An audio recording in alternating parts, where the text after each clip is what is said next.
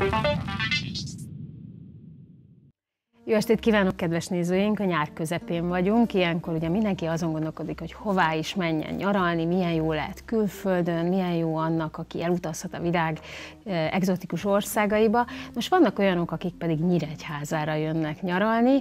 Első vendégeink ilyenek, akik nagyon messziről érkeztek, Patla Beát a Csikágóból, Kokkaden Mónika pedig Finnországból, de nagyon különleges történetekkel készültek a lányok. Tulajdonképpen ugye mindketten nyíregyháziak vagytok, és nagyon hosszú évek Kig Mónika, te Finnországban éltél, pontosan tíz évig, Beata pedig még jelenleg is Csikágóban élsz. Elmondhatjuk, hogy hány éve? Igen, 30 éve volt pont ebbe az évben. Tehát valamikor fiatal korodban úgy döntöttél, ez gondolom, hogy még abban az időben volt, amikor azért nem volt mindennapi, hogy valaki az Egyesült Államokba utazik. Turistaként Igen. kerültél Amerikába? Az úgy történt, hogy nekem van egy 56-os nagynéném, akinek én elmondtam kb. 5 éves koromban, hogyha én fölnövök, akkor el fogok jönni Amerikába hozzá látogatóba, és el is mentem hozzá 88-ba, és még azóta is látogatom közben, elmúlt 30 év, és az élet nagyon kiszámíthatatlan, én elsősorban csak igazán nyaralni mentem hozzá, de mivel nem beszéltem angolul, volt olyan lehetőség, ahol ő lakott, cserediákoknak, hogy bemehetek iskolába. És bementem egy gimnáziumba, és oda jártam két évig, és az első évben a világ minden részéről voltak a osztálytársaim, Kína, Japán, Mexikó, Belgium, Olaszország, Irán, és én voltam Magyarországról. És a cserediákokkal jártam egy évig iskolába. Megtanultál egy év alatt profi módon angolul? Tíz hónap alatt, mert rá voltam kényszerintve a házi feladataimat ki kellett szótározni szóról szóra, úgy tudtam csak érvényesülni. És a negyedikben pedig már az osztálytársam legtöbb amerikai volt és aztán ott is ragadtál Amerikában. Most viszont mégis itt vagy Magyarországon, és hát nem titok, mi osztálytársak voltunk általános iskolában, van egy tíz éves csodaszép kisfiad, aki folyékonyan beszél magyarul. Ez nagy feladat? Egy amerikai apa és egy magyar anyának a, a gyerekét, nem is tudom, szeretettel, vagy esetleg mm, kis szigorral rákényszeríteni arra, hogy megtanulja a magyar nyelvet? Igen, én azt hiszem, hogy az életem egyik legnagyobb feladata volt, hogy ő ilyen szépen beszél magyarul, mivel, hogy ahogy említetted, az édesapja amerikai, de nekem ez nagyon-nagyon fontos volt, mivel, hogy az édesanyám még itt lakik Nyíregyházán, és a családom 95%-a itt lakik Magyarországon, hogy a gyermekem beszél magyarul. Mivel, hogyha nem beszélne magyarul, akkor neki nem lenne élvezet itt tölteni az egész nyarát kértelek titeket, hogy küldjetek fotókat, ugye a tipikus amerikai életetek, életedről, Mónika, te pedig a, a finnországi történetedről. Egyébként te itt a nyíregyháziaknak a saját mesédet el is fogod mesélni a laborkaféban, ugye várod majd azokat, akik kíváncsiak a finn életérzésre. Mm, hogy kerültél Finnországba? Hát igazából a számom, vagy az én esetemben is tanulmányokra vezethető vissza, tehát én az egyetemen, a Debreceni Egyetemen kezdtem el a finn nyelv iránt érdeklődni, ugye magyar szakos hallgató voltam, és akkor ott felvettem a finn szakot, és megtanultam finnül. Aztán, amikor végeztem 2002-ben, úgy nézett ki, hogy ez a finn dolog, ez a féle hobbi, hobbi fog számomra maradni, de akkor úgy esett, hogy a oktatási területen kezdtem el dolgozni, pedagógiai szakértőként, a pedagógiai intézetben, akkor és mivel a finn oktatás nagyon eredményesnek bizonyult, azokban az években jöttek ki az első ugye, PISA felmérések, ezért elkezdtünk Finnországba tanulmányotakat szervezni iskolaigazgatóknak, pedagógiai szakértőknek, intézményfenntartóknak, és há, négyszer vagy ötször szerveztem ilyen csoportos utat, és az utolsó utamon találkoztam azzal a szőke kék szeművel, aki miatt aztán a herceg, két, ez, hát herceg, nem herceg, de Na. szőke kék szemű, és 2007, 2006-ban találkoztunk, és akkor egy, egy olyan egy, majdnem egy éves levelezés után után tettem meg a nagy lépést, hogy akkor, hogy akkor megyek, és kipróbálom önmagamat. Úgyhogy Úgyhogy azóta tíz év, és hasonló hasonló élmények, kétnyelvű család, magyar tanítás a gyermeknek, nekem hat Igen. éves a kisfiam. Milyen érdekes, hogy sok párhuzam van az életetek között, hiszen neked is egy kisfiad van, neked finn férjed van, neked amerikai férjed van, és gyakorlatilag megmaradtatok magyar anyának, ugye olyannyira, hogy ti most haza is költöztetek, és itt fogtok egy pár évig élni Magyarországon. Különlegesnek érzi magát egy magyar lány mondjuk Finnországban és Csikágóban? Hogy vagytok ezzel elni? Bizonyos értelemben igen, tehát például az, hogy ugye én is sokáig ugye magyar akcentussal beszéltem a finn nyelvet, ugye az mindig megüti mindenkinek a fülét, hogy, hogy ah, te honnan jöttél, vagy és akkor Magyarországról, ah, de jó, és akkor az embereknek valahogy mégiscsak találkoznak valamivel, ami más, ami, ami különleges, vagy eltérő, mint, mint, az, mint ami, amit ők megszoktak, és, és sokszor volt így, hogy, hogy így épültek kapcsolatok, vagy akár álláskeresésben is pozitív, er, pozitív volt az, hogy, hogy, hogy, hogy én más vagyok.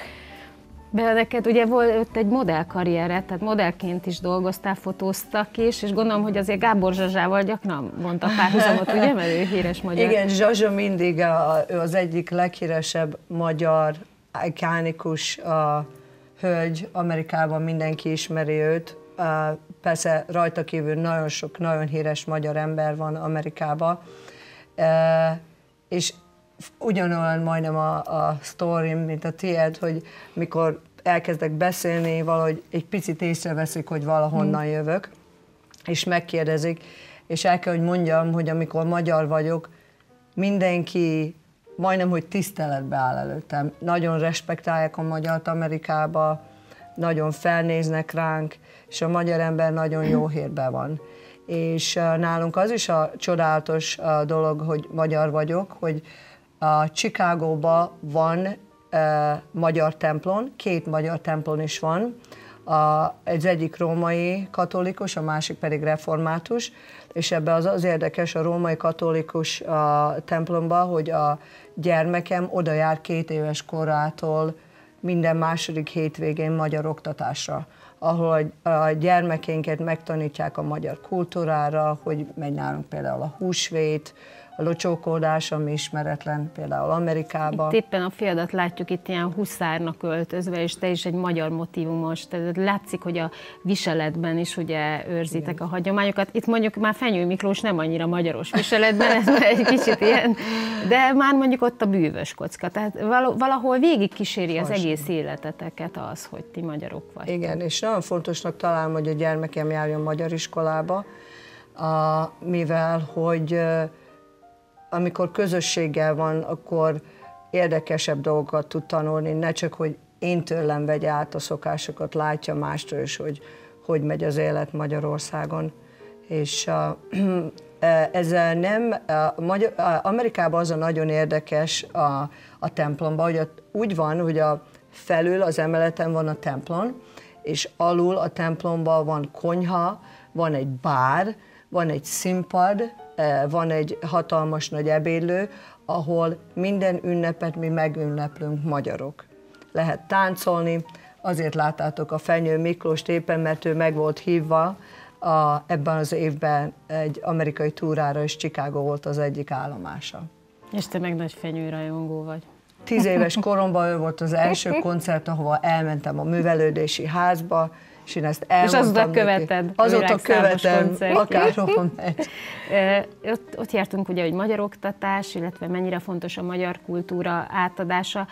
Ugye te kisfiad még kisebb, és most belecsöppent Igen. a magyar óvoda óvodai életbe, ő hogy érzi magát itt, és mennyire szeretne mondjuk itt maradni ebben az országban? Hát nagyon jól érzi magát, tehát néha, amikor faggatózom, hogy, hogy hol szeretne élni, hogy maradjunk-e, vagy menjünk vissza, ő egyértelműen mindig azt válaszol, hogy maradjunk. Mondjuk ebbe biztos közrejátszik az is, hogy közel van mama, meg az unokatestvérek, meg a család, de, de nagyon szeret, imád óvodába járni, és azóta, mióta meg a nyelv is beindult neki, mert hát neki is ugye a finn volt az erősebb, és ugye a magyart, ugye értett mindent kezdettől fogva, magyarul beszélek hozzá, de azért az a passzív szókincs elég lassan kezdett nála aktiválódni, kb. három, három hét telt el az óvodába úgy, hogy nem nagyon nem nagyon beszélt, és most például az óvónénik is mondják, hogy jaj, de kár, hogy elballak tőlünk ez a kisfiú most, hogy már ilyen szépen tud beszélni, teljesen megnyílt az egyénisége, tehát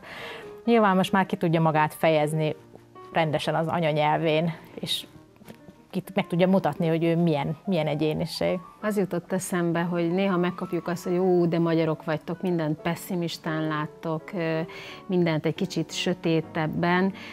Ugye nektek van szerencsétek mindkét oldalt megtapasztalni, egy másik szemléletből, másik országból visszakerülni Magyarországra, abból az országból, amelyben tartósan éltetek, vagy éltek, mik az erősségei ennek az országnak, és mi az, amiben mondjuk fejlődnünk kellene, vagy amit megtanulhatnánk akár a finnektől, akár az amerikaiaktól?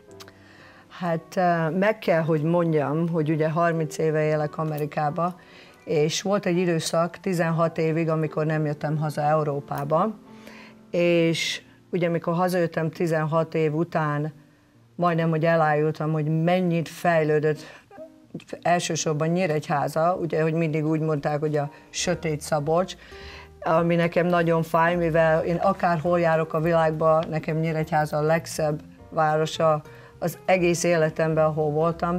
Nem beszélve arról, hogy annyit fejlődött javára ez a város, tényleg úgy néz ki, mint egy kis ékszerdoboz.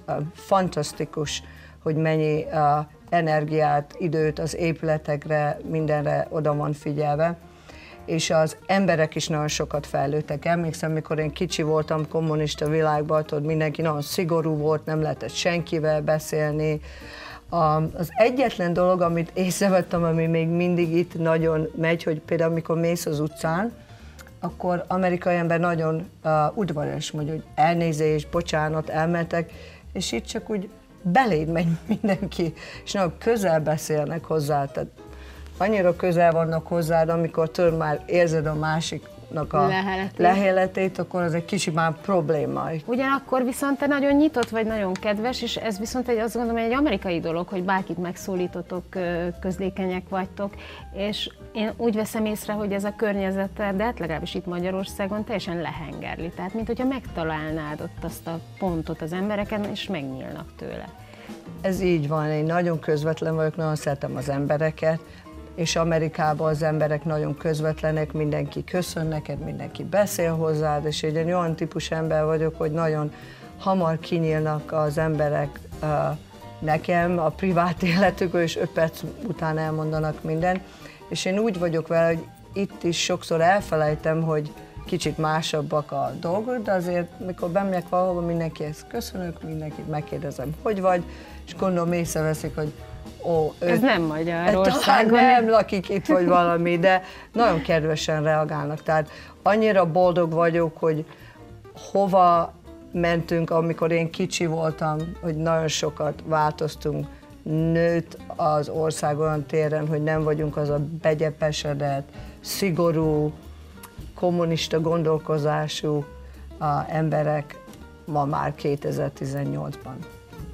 Te hogy látod? Hasonlókat én is észrevettem, például mi is mindig nyára jöttünk haza, ugye családdal nyaralni, és, és tényleg ez a fejlődés, ami itt végbe ment a városba, egy tíz év alatt, tehát minden nyáron, mikor hazajöttünk, egy, egy nyár maradt csak ki, minden nyáron mindig volt valami új felfedezni való. Mindig itt egy új játszótér, ott egy új szökőkút, az is, az is rendben van téve, meg ez a, ez a rengeteg kerékpárút, tehát én mikor kiköltöztem... Most tíz... azt hiszik, hogy ilyen marketing beszélgetésre Nem, nem, tehát én amikor kiköltöztem Finnországban, én el voltam májulva, hogy ott mindenhova el lehet jutni biciklivel. Uh-huh. Mindenhova, és én mindenhova biciklivel jártam.